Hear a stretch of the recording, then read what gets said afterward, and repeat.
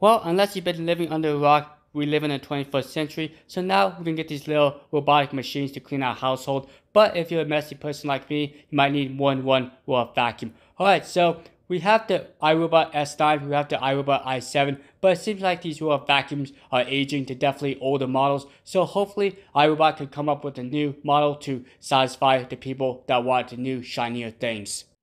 Well, hello internet world, how's everyone doing today? Alright, so I'm super excited today because iRobot released a brand new well vacuum. Yeah, it seemed like a million years from now since they released a new product. Okay, so it's called the J7, but my question is, is the J7 basically a rebranded version of the i3 with a fancy new skin and new name? Well, stick around and find out. I'll tell you everything you need to know about the new J7. Alright, before we begin, make sure you smash the like button. Notice my like pillow's a little smashed over there. Get smashed like button, like, yeah, okay.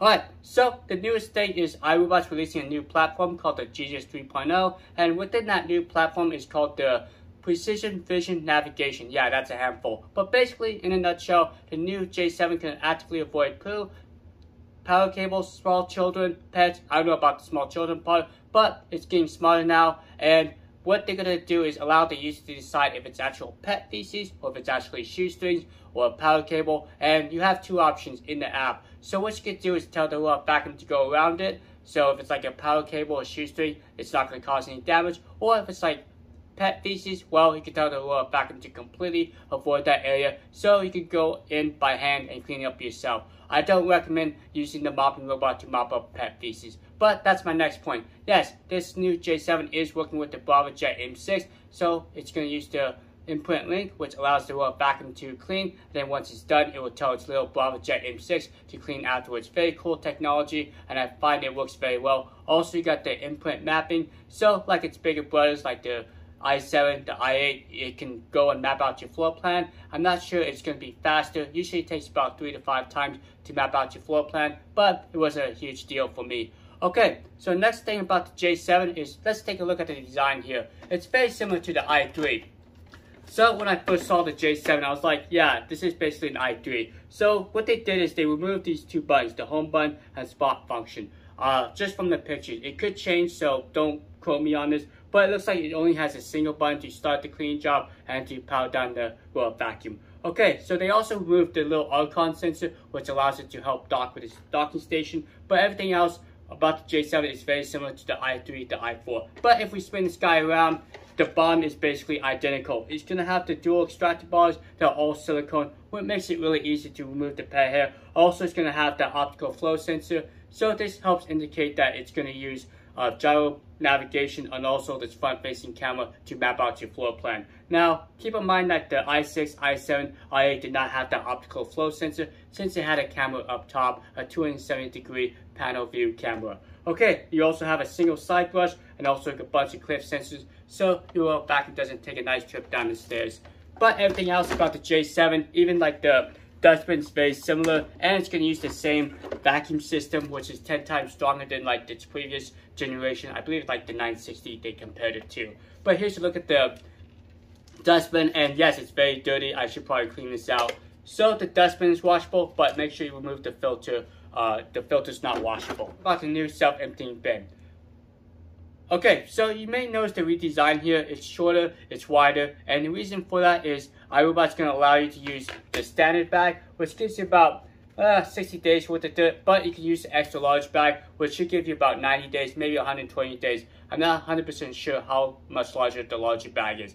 So that's the main reason why the, the design of the base. Also, the base is shorter, allowing you to get under different areas if you find that this base is too tall. Okay, so the biggest elephant in the room is pricing. Now, the J7 is priced at $849 with a self-emptying bin, but if you want to just get the raw vacuum, it's $649, so you can save about $200. I'm not sure if iRobot's going to sell the self-emptying bin later on for about $249. That's what they did with the i3 and all the other models.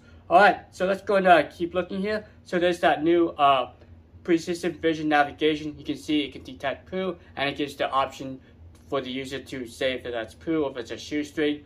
Um, you also have the self-emptying bin. And you also have uh, keep out zones, area select. So no longer do you have to use these little doodads. You can get rid of those and use the app for the smart mapping features. And here's a look at all the other features of the J7. Let's go and scroll down here and there's the pricing 849 J7 Plus, which the plus means that it comes with a self-emptying bin and the precision vision navigation is what I talked about, allowing to avoid those objects, also allows it to map out your floor plan.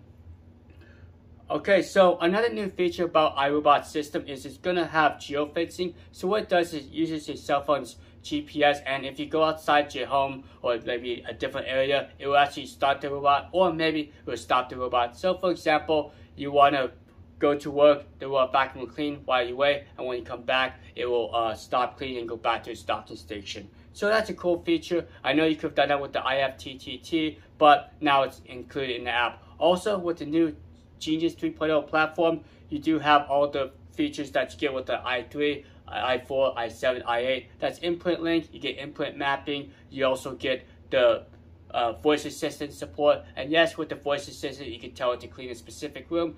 That's the only model that I know of, only brand I know of that can do that besides the Shark brand, which allows it to clean by a voice. Okay, let's go and uh, keep going here. So, uh, along with the mapping, you do have the same design of the i3. Uh, nothing really changed here. So I'm kind of excited to try out the J7. I'll let you guys know when I get to J7. I'll definitely do an in-depth review video of it. But you can see iRobot has a lot of accessories. So if you're considering buying an iRobot product, uh, keep in mind that they have pretty good customer service. Also, the accessories are widely available. Get to Amazon, Alibaba, AliExpress. Even here in the US, I can go to my local Best Buy and get accessories for iRobot. So thanks so much for watching and stay tuned. If I find more about the J7, I'll let you guys know. But the main features is that poop avoiding feature, the new redesigned self-emptying bin, and also it has the new app features within the app like the Genius 3.0 platform. So I'm glad that iRobot's kind of expanding and then experimenting with new features. Alright, so have a great rest of the day, and thanks so much for watching. You take care, and stick around. I'll try to get the J7 on this channel. See you later.